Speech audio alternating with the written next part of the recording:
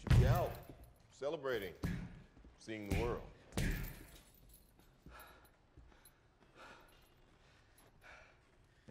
I went under. The world was at war.